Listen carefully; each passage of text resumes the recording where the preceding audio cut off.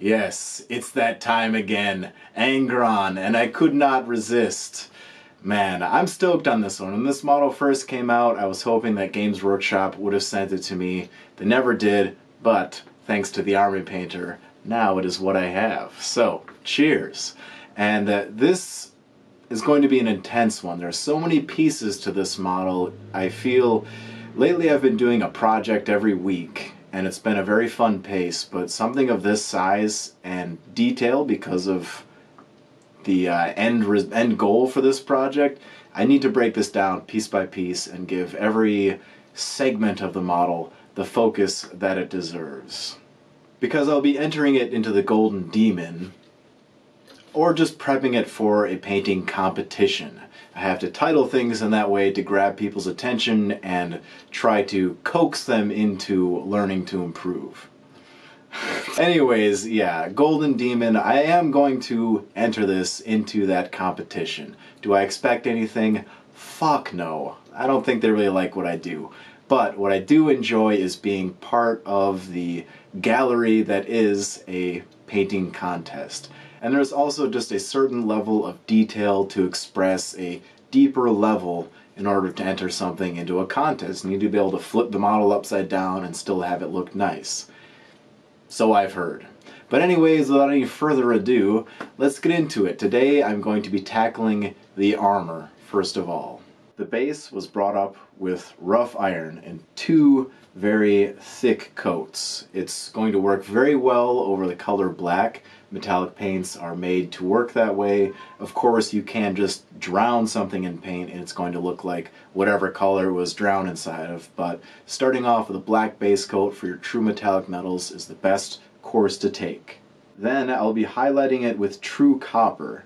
Now I also want you to listen to what the light is telling you. As you're searching for your highlights, especially on a reflective surface, you rotate the model in your hands, it's going to move the reflections around, so just try to keep a more fixed perspective in mind. Even with true metallics, even where the light can take over and do its own thing, I still am trying to adhere to that general light situation that I'm seeing. The reflections are your target. That is the kill zone. And killing is the sweetest. But oh, oh, oh, spicy. Following along on the true copper, I added greedy gold to the mix, slicing the pie, severing the gradient in unholy richness. It's a demon. It's just gonna come out of me like that. I can't help myself. Just make sure that you are not undoing the previous layer. Shingles on a rooftop, baby. Every layer leaving a little bit of the previous layer slightly visible.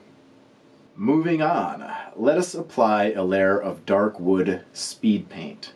I find myself using these instead of ink lately. Powerful stuff, so I thinned it down halfway and just like the inks, a little bit goes a long way.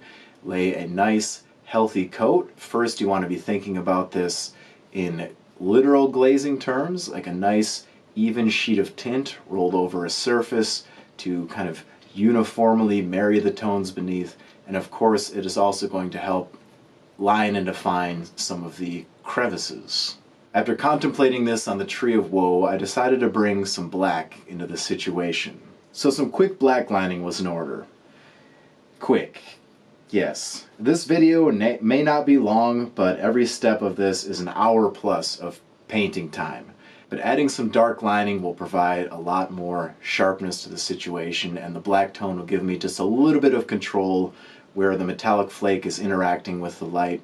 I am sort of, you know, taking some methods from what you would see in a non-metallic metal technique and covering up some of the shadows. So I guess it has a non-metallic metal black shadow to it.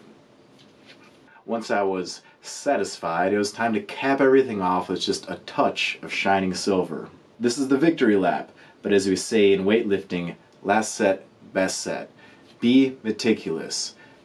Look all over the model, and yes, the silver is, no matter what true metallic color you are highlighting, I would recommend a small amount of silver at the pointiest of peak. You can do a little bit or a lot, but it is going to really extend your gradient we're going for maximum extension. And one more thing. I wanted to take a little touch of plasmatic bolt on the worlds and axe. A small amount of verdigris to break up the brasses. And furthermore, on third thought, adding a diluted amount of white first that will help to create a more of a uh, variety of tones within your patina. I liked the dark take. I, I like everything dark, but I'm, I'm trying to push a little bit lighter. I want to have contrast, I hear. It's a good thing. But yeah, just a little coat of white, and then that plasmatic bolt gives you a mighty fine patina. Verdigris.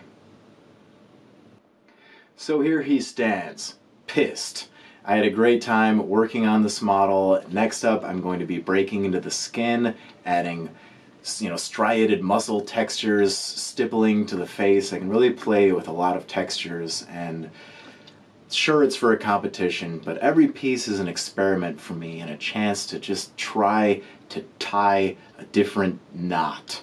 And this model will be, I will be able to share the variety of materials as a form of contrast through textures and true metallic metals and glowing weaponry and who knows what's going to happen on the base. Everything is just black for now.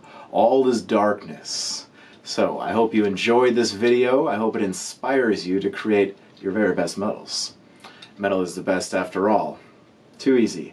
Anyways, thank you for your support. If you're watching this on YouTube, please hit like and subscribe and do check out my Patreon. I can't do it without the support from those lovely individuals there. So, join the Legion, and I'll see you next time. Remain unchanged.